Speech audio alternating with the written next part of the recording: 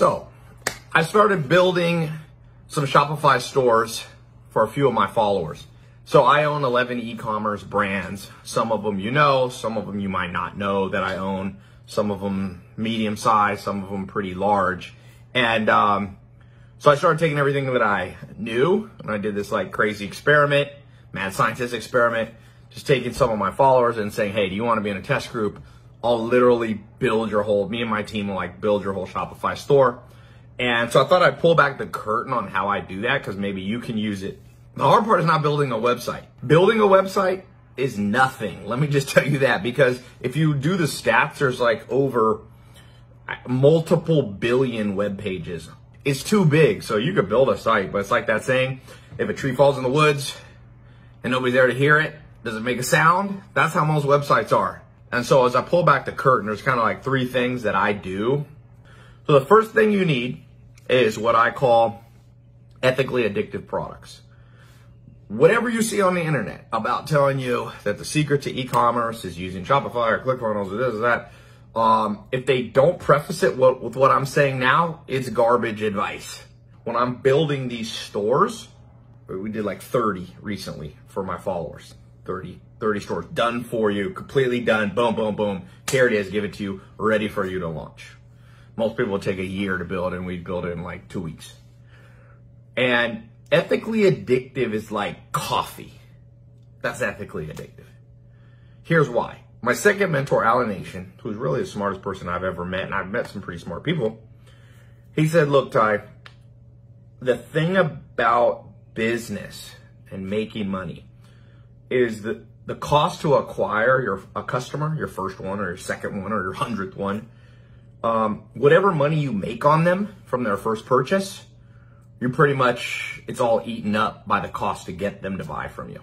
Meaning the marketing cost pretty much equals the gross profit that you make. So if somebody buys $100 on your website, you probably spent 100 bucks to get them there the first time to get a buyer. And so he said, you only make money from repeat buyers. Like you, all wealth is created from repeat buyers.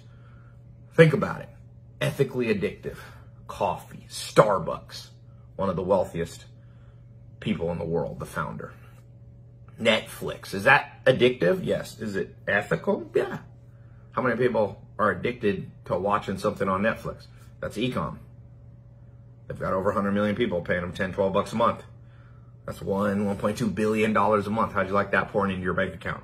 The second thing when I'm building a done for you site, like what I built for these 30 people in a test group, is large TAM. What's TAM stand for? Total addressable market. We could find an ethically addictive product, but if it has a low TAM, that means if I build the site and I, I'm not going to ever get much volume. There's a principle in, in called stock and flow. Stock means raw volume and flow means like, in this case, your return on investment. So you could build a website that you buy something for $1 and you sell it for 10 bucks. And you're like, look, Tai, I just 10x to my money this month. But I'm like, how many units did you sell? One. Well, great. You, you spent one, you made 10, your, your gross profit's nine bucks. That's good from a flow standpoint, but not from a stock. So that's why you need to pick products that not only are ethically addictive, have repeat buyers, but they also need to have a certain uh, volume to them. For me, I only go in industries. I used to only go in industries that had at least 100 billion in revenue. Um, that's why I got into online education, by the way. Online education was 100 billion dollars when I got into it back 2014, back 2013, 2014, 15. It was getting to be around 100. Now it's over 100. But like food is an 8.5 trillion dollar business. That's why I have Farmers Cart. The third thing you have to know it has to be the right pricing structure. There's the four P's of business. There's really seven P's. That's more advanced. Four P's: product, price, uh, promotions, placement. Right. So, first thing I've talked about the product. Second thing is pricing. So you need a certain what I call an ascension model. And the ascension model I recommend is a super low price, followed by a core price, okay, followed by upgrades just three. So you need something irresistibly low price. Remember when you go to, let's say, the grocery store? Sam Walton from Walmart started doing this. He was worth $160 billion. And it's because he started doing samples. He was like, here, try this little whatever microwave enchilada.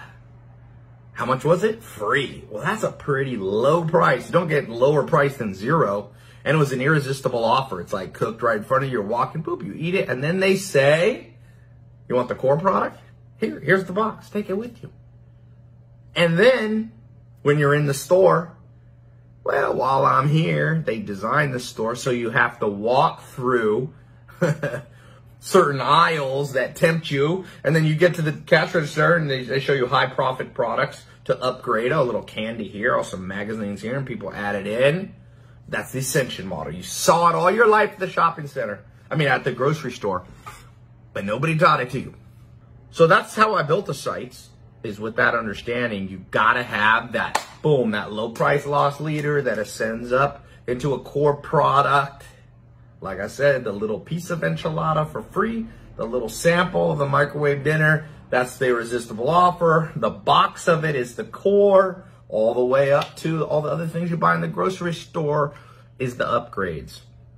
So here's the deal. I don't really want to do this in mass for people because um, it's kind of a pain in the butt to do it for people. And I don't want to do it for too many people because it's like almost like building comp competition for myself. But I'm going to put a link below. So click the link below or in the corners. It's going to take you to a page. You fill out, tell us a little bit about yourself and a time when you want my office to call you. We have a calendar. You pick the time and da da da, you know, three o'clock Monday. So for those of you who click the link, get in the test group done for you, e-commerce website. We look forward to meeting you. Talk soon.